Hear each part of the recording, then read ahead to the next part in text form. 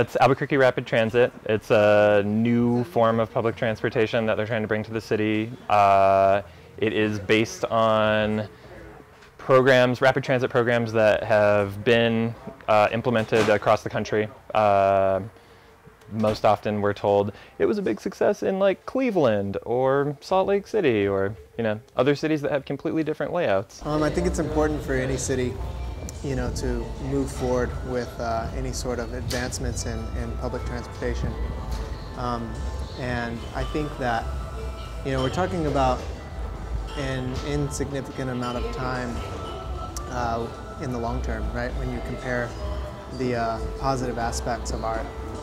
And, uh, you know, I think ART is just a, a first step, you know, and many steps that we need to take towards advancing public transportation as a whole. That they are saying that they're not going to be spending more than 60 days per 2,000 foot stretch of road, so maybe like one to two blocks for 60 days at a time. So by Albuquerque standards, that probably means 180 days in front of each location.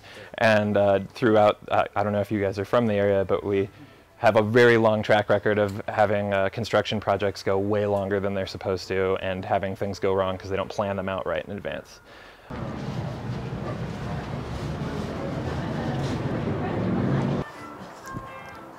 My feeling is that if you take away half the traffic that comes by my store, I'm probably going to lose about half of my business.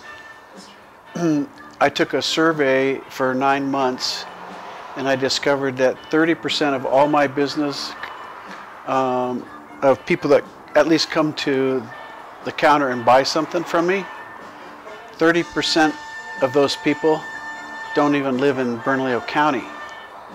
So I depend a lot on people who come from out of town.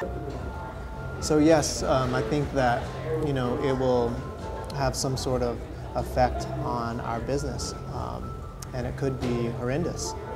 Um, but I think you know the overall goal here is to make the city better and to attract people here and to uh, grow our population and uh, make sure that we're retaining millennials and um, people that are going to greatly influence our city in the future.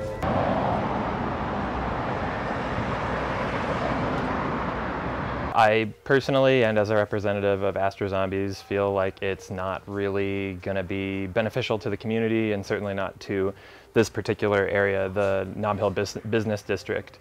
Um, this is like one of the busiest streets in Albuquerque, and they're talking about cutting the lanes in half.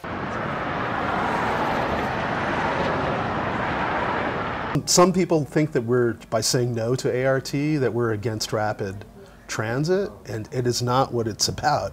It's just that they never, they're going about it the wrong way.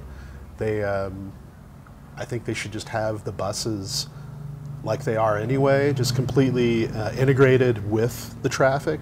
Lomas, had they been thinking about it or had they actually talked to the people in advance and not tried to do it secretly in like closed door meetings, uh, they would have heard what we now know that a lot of businesses over there would like it. Um, Lomas actually runs uh, through like the malls, the courthouses, other government uh, buildings, uh, the university. Uh, like pretty much, it's it's a pipeline to everything that's like important to the city um, without interrupting business because in most areas of Lomas you're going to have three to four lanes. So if you reduce it and have one dedicated lane for ART, it doesn't actually constrict the traffic flow in nearly the same manner.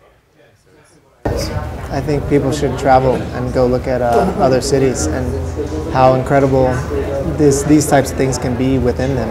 You know, when I go to larger cities, um, I utilize public transportation a lot because it's easy and it's accessible and I can get anywhere where I need to get to.